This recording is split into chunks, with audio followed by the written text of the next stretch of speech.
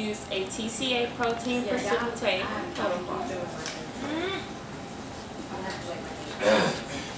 We're going to.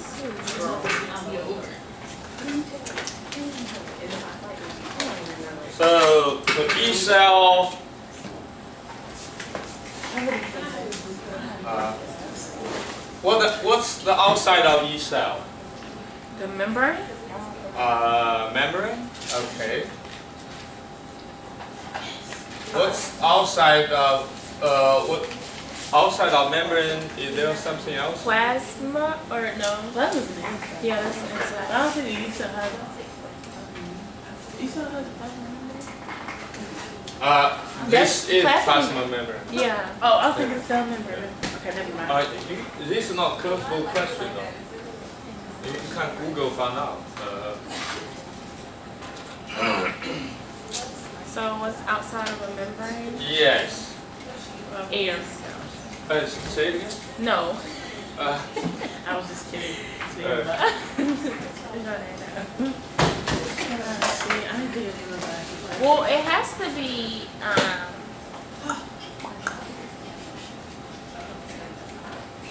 I don't know. You said Google it? Oh, Google yeah, you can Google What is the outside of a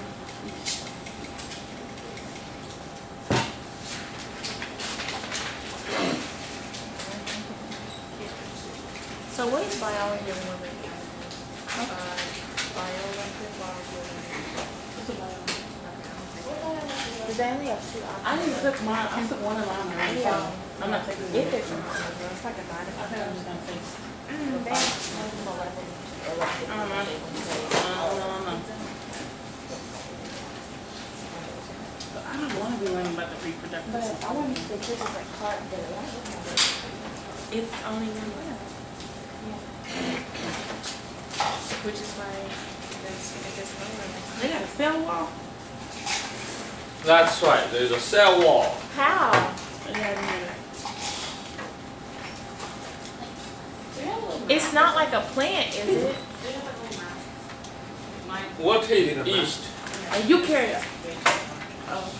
Very good. And we are going up towards the phylogenetic more than deeper than eukaryote, right? So, so But that's right. Yeast is the Problem is, it's, uh, whoops. Yeah. Bacteria, archaea, Eukaryote. Eukaryote. That's right. So yeast is somewhere here. But uh, what is yeast? It's uh, protozoa. Just kidding. just kidding. Just kidding. That's a Yeah, I know you're kidding. Yeah, right. Give me a second. I'm looking. Yeah. It, it's related to cell wall, right? So, so, uh, What is the freaking? Um, I don't know. Yeast is a. Why am I looking at one?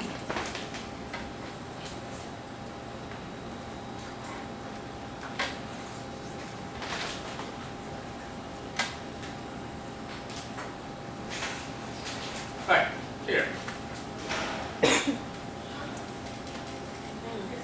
So yeast is a. That's our, us, yeah, animals. Uh, I heard. Yeah, so yeast here. So most of the fungi plants will have a wall. Fungi is closer to animal than What? Isn't fungi closer to um, being related, close, more closely related to animals than plants? What the heck? Because they're heterotrophic. I mean, In, I in, in, you if were- in fact, if you look at it. animal and fungi and plant, which which two are more closer? it's plants, but I thought that that's what we had learned in, for you. in like one ten. No? What? Uh, it probably depends on what you are talking about. But here, look, look, look at this figure. Based on this figure, Yeah. plant uh, and fungi, the distance is this. Is that shorter? Here is much longer. Um, So the fungi, and the plant, at least east side here are closer. It, actually, we need we need to talk about different uh, specific species to make that general.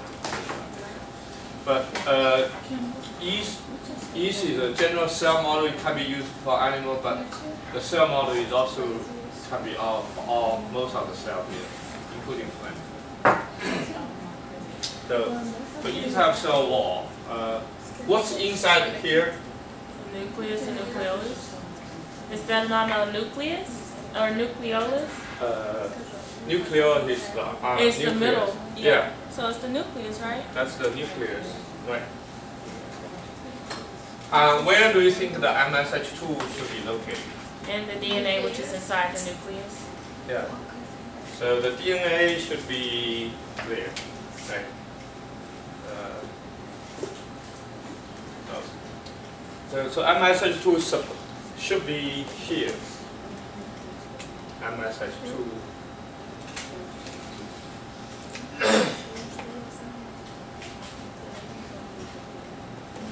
Protein should be here. But where is protein uh, translated? We are, we went over this. Yeah. It's translated. Where where is the protein translation occur? Translation. Yeah, where is the translation occur? We went over this. Hold on. We did. Oh, it's right here. I thought it was the cytosol. This. That's the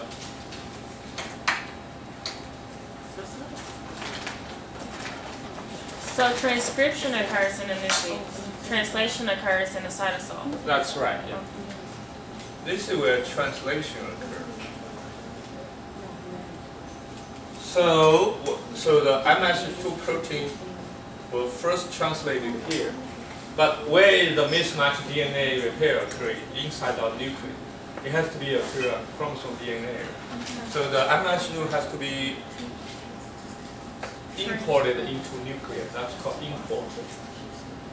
And usually uh, in eukaryotic system, uh, protein when they are translated into nucleus, there should be something called the nuclear localization signal. Nuclear localization signal.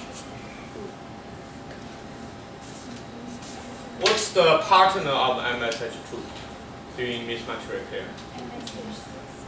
MSH Excellent, yeah, so there's also MSH6 should also go inside of the nucleus.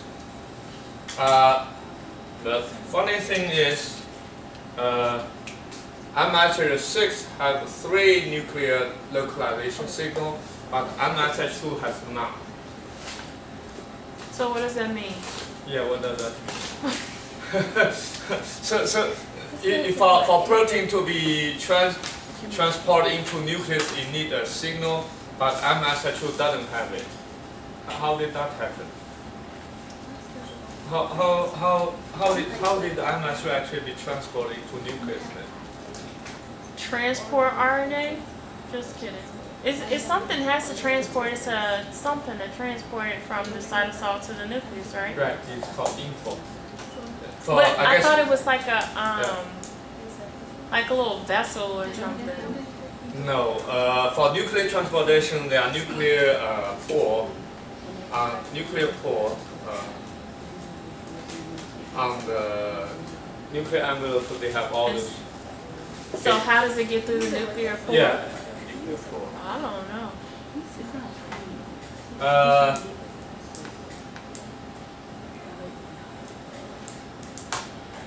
well, there are several options. One is we do. There's probably a nuclear localization signal on MSH2, but it's just not the one we know about it. That's one option, right? It, m- it probably has, but we just don't recognize it. I mean, we are certainly far from 100 100% knowledgeable. There's also a second choice. We know MSH6 has one. Three. Uh, MSH6 has three. So MSH2 and MSH6 they actually form They could come together. yeah they form dimers, so they can co co-encode it.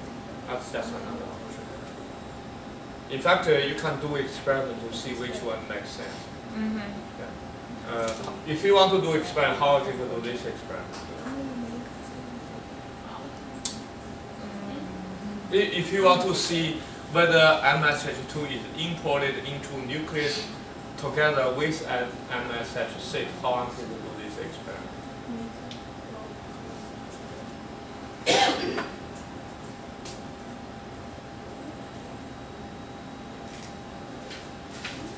Which mutant are you going to use? Which, which, what kind of mutation you want to generate?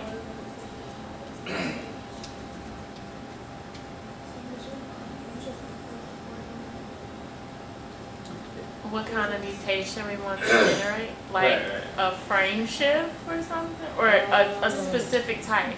Yeah, specific type. So like the ones we use in class? No. Like yeah, like we did in class. In, in class we uh, mutated uh, some amino acid to different one in MSH2. Right. So if you if you if you are given the job, say, well, I want to. Uh, my hypothesis is MSH2 is imported into nucleus because they form a dimer with MSH6. How are you to prove that? What's What's your way to prove that's the case? Uh, which part you want to mutate?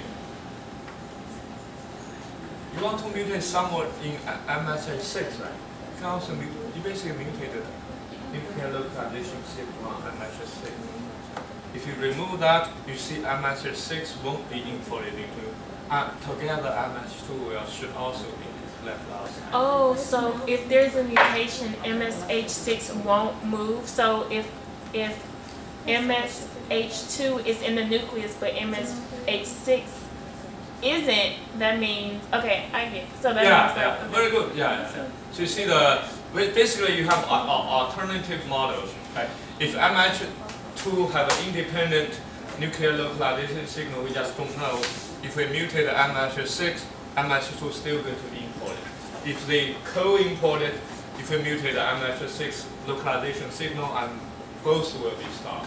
Mhm. Neither should be imported. What you said is what? Uh, Nu- if, if I mutated the, the nuclear localization signal on MSH6, then.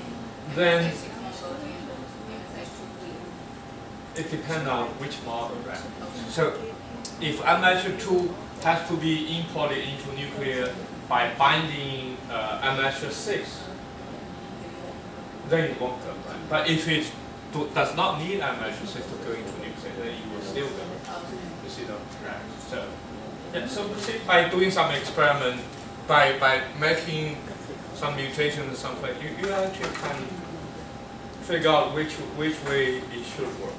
So, okay, so that's actually uh, uh, part of the background of this. Uh, but today we want to isolate the MSH2 protein from cells. From all those cells still growing. I think actually that's for uh, tomorrow, but we our cells are already ready. Those cells are growing for tomorrow. So, so what should we before? How can we isolate those proteins from Cell? Don't you have to break down the cell wall or the cell membrane first? Yes. How do we break that? Uh, read the protocol. Which step do you think are doing that? We, we have a protocol. Right. So the first step, obtain cell culture. Right. So see, basically we have all those flags growing there, and a cell are growing there. So they are shaking for days. Uh, that's the step one. Uh, Uh, oh. Unfortunately, there are two steps. so, yeah.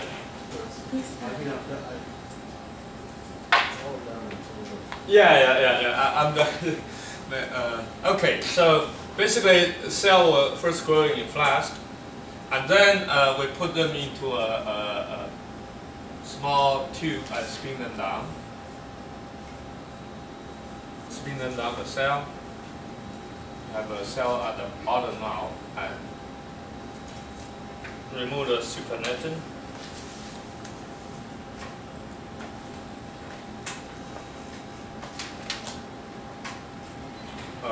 This, uh, actually this is uh, somewhere between step one, step two.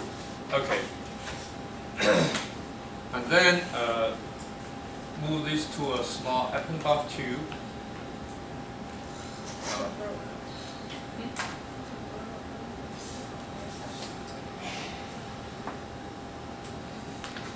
the palette, we needed the, needed the palette.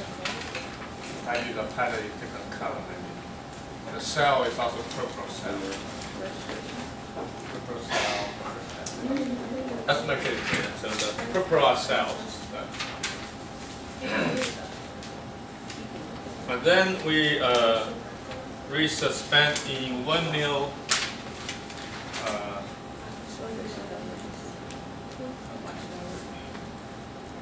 one mil cold water.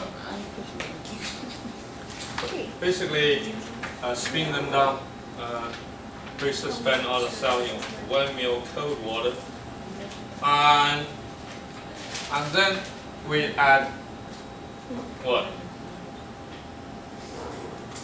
Um,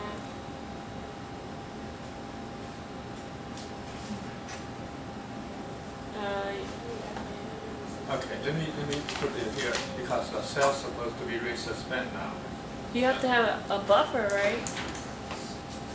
Or um, just getting, yeah, add a base, Tris base, two solar. Okay. Uh, Tris base. Uh, no, this is a step number four here. Uh, Oh, so add the um.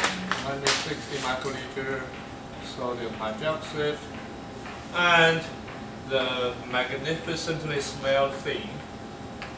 It uh, Macasto ethanol. Okay. So What does this say? Uh, what did y'all say up there, Dr. Qin? what? What did that say? Oh, too small. Uh, it's basically step number four here. Oh, so you did put 160, because that looks just like 60, I don't know. Right, 160 microliter. Okay. Uh, sodium hydroxide and beta mercaptoethanol. Sorry, maybe I should use bigger.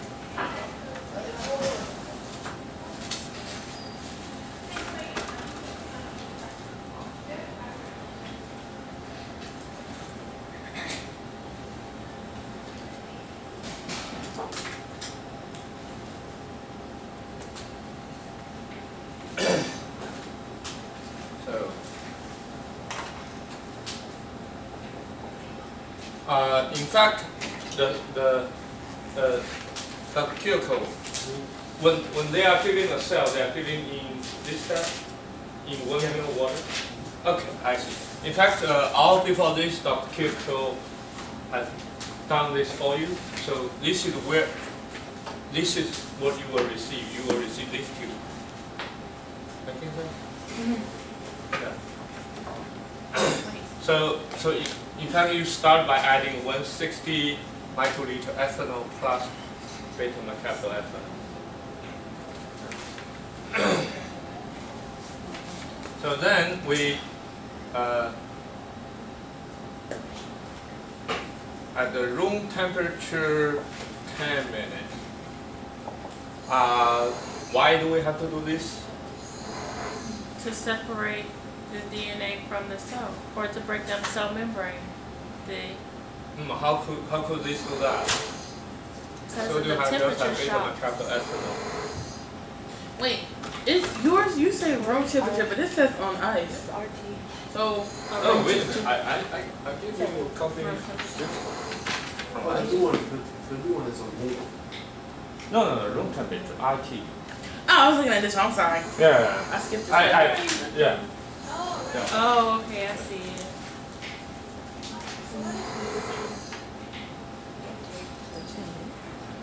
So in this part, what does beta mercaptoethanol does? What does it do? Yes.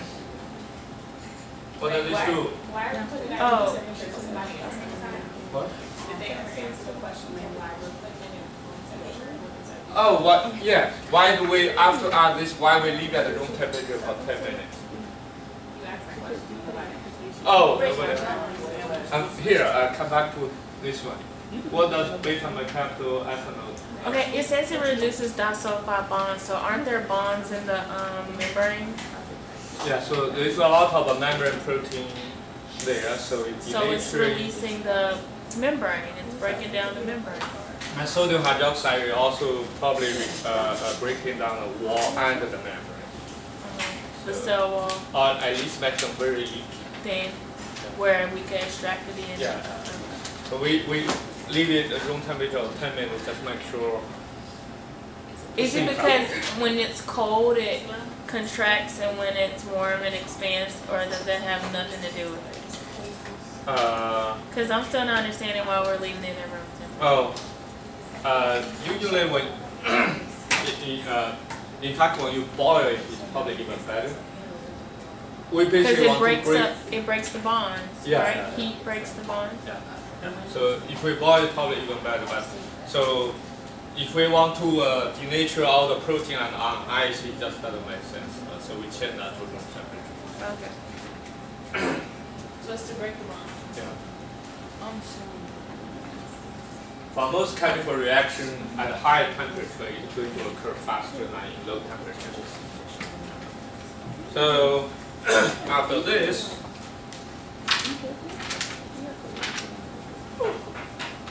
and then we add uh, 160 microliter TCA, 50% TCA. Uh, what is TCA? That is trichloroacetic acid. That's actually highly uh, caustic thing, so Dr. Kyoko actually will do this step for you. So add, and you also want to avoid spill this, especially if you don't even have uh, glasses. Don't don't spill this. So after add because these are highly caustic.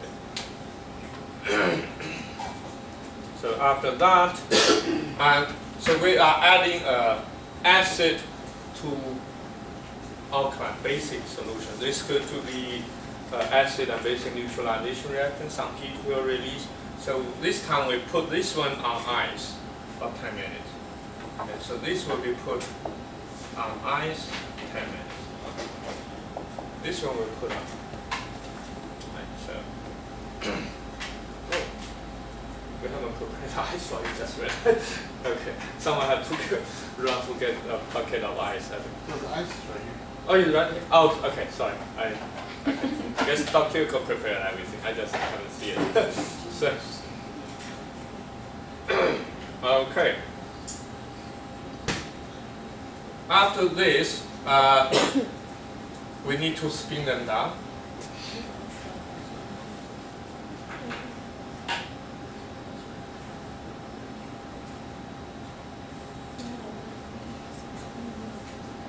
Spin down.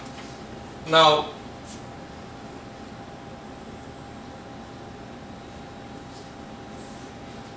where do you think the cell will go? Is at the bottom or in the super, uh, the protein go? At the bottom or in the supernatant? The bottom. I don't think. It should be at the bottom because we have added all those uh, uh, denaturing things. Protein are now it's not like completely denatured. They become uh, uh, in a non-functional state. So the, the protein should now goes to the bottom. The pellet. In fact, it should be a white pellet. Uh, but if I can draw white, you won't see it. So here, the purple, the purple one is the protein, and so the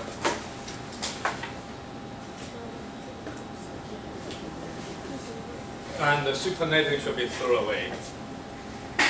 Supernatant throw away, and the purple one is what, what we want. So how do I make it the more important here? So here you cannot. Uh, I'll say. How do I make it? Okay. A big experiment.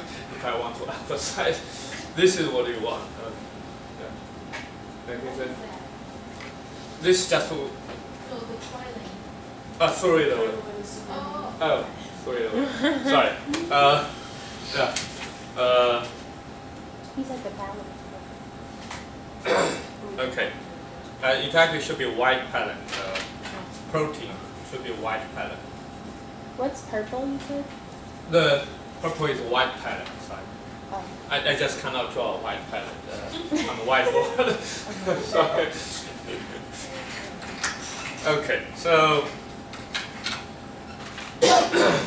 all right. So then we uh, we we throw that away. Uh,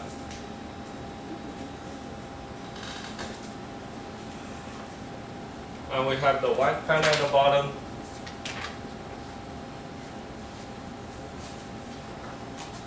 And then we add uh,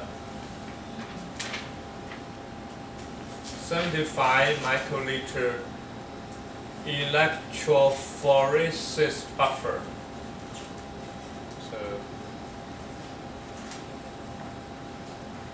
and resuspend everything. Uh,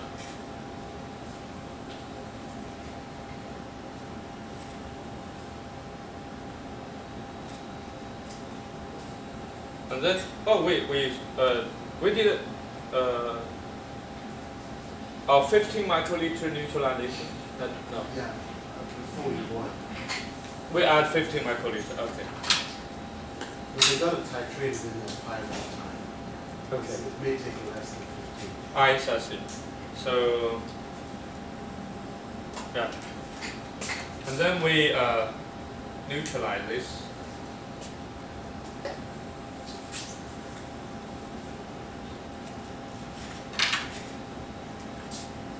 Uh, so after this, this should be uh, resuspended in, in a liquid. Uh, I guess it should be. And then we want to make this into blue. By adding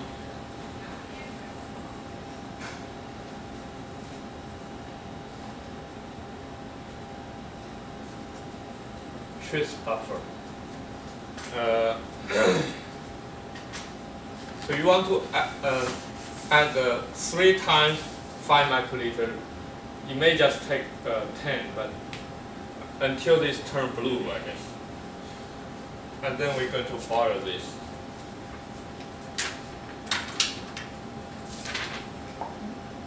Hmm, Uh, how do I draw a fire?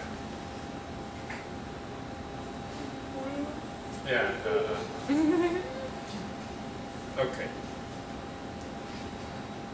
Then we boil this for 10 minutes. No.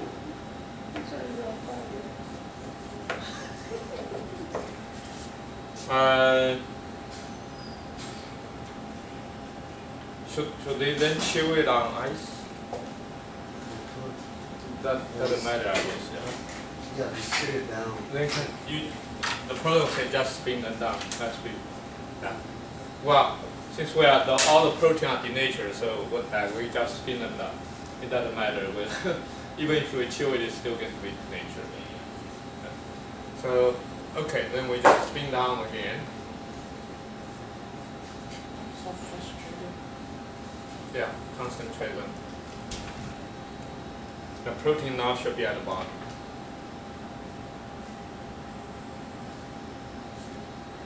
Okay. Uh, why, why do we think we are doing this step? Well, boiling denatures the, pro- I mean, the uh, membrane, the bonds in the membrane. Yes, boiling will further denature in protein. There is actually another important step here. That neutralizing? What? You talking about when you neutralize it? At the Uh, seventy microliters? Or In a way, Okay. yes. Uh, I forgot to mention this, this part it also has something called SDS.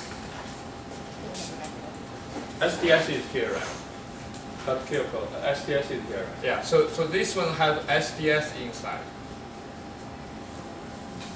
What is SDS? Can someone Google for it?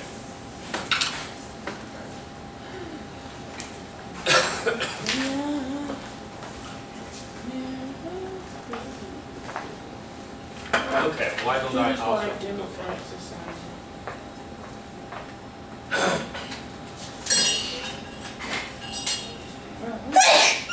Ew.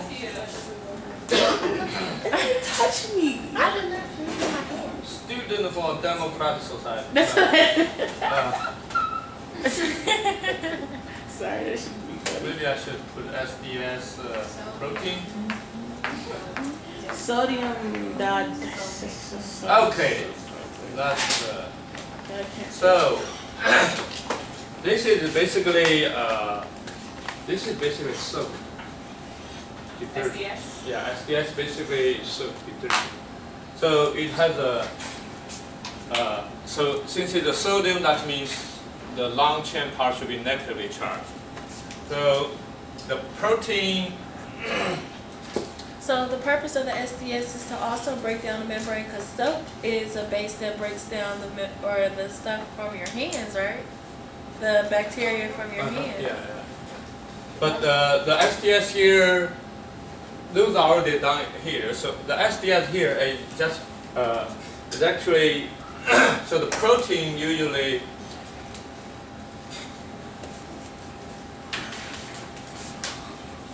Ah, sorry.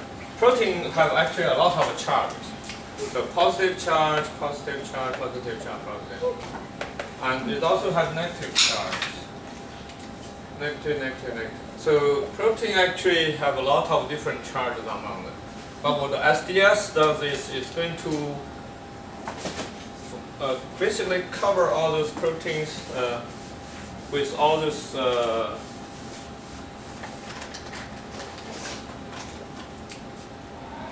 SDS, SDS.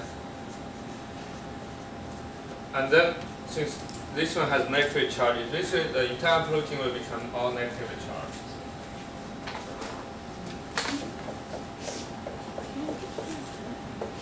So basically, uh, shield out is basically going to make sure all the protein become a, a highly negatively charged uh, uh, uh.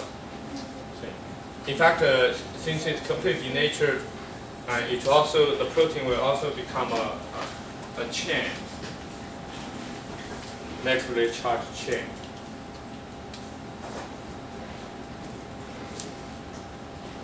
That's basically what this does. So we added the SDS boiler, make all the protein become this uh, random chain with negative charge. And then we're going to separate on the gel to see the protein size. So this is basically the protocol. Uh, uh, I'm going to check the Excel.